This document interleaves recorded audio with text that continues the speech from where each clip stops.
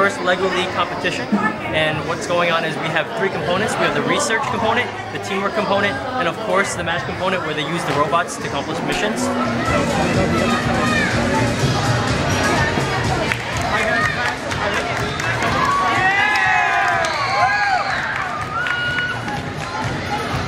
Children get to go up to the table three times and run their robot through their missions and it depends on what their robot accomplishes. They earn points with each mission. Program the robot using a specific computer program. Uh, you download the programs onto a robot, the robot through a USB cord and then you run the robot on the field. It's so important for students to participate because not only are they learning engineering, programming skills, um, how to do research, how to present their research findings, but they're also learning how to work as a team.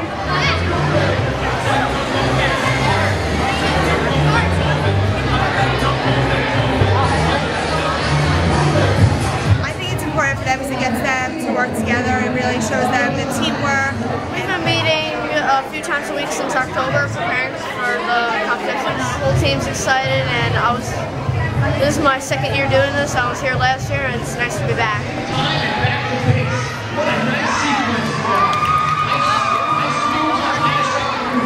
This FLL event is important for kids because it does give them a, taste of what it's like to become an engineer. It gives them a, like a, what would you say, an opening where they, something that they've never seen before that, and maybe they might like it. And if they do like it, it's going to maybe they'll become an engineer or an architect and get involved with something that they never saw before.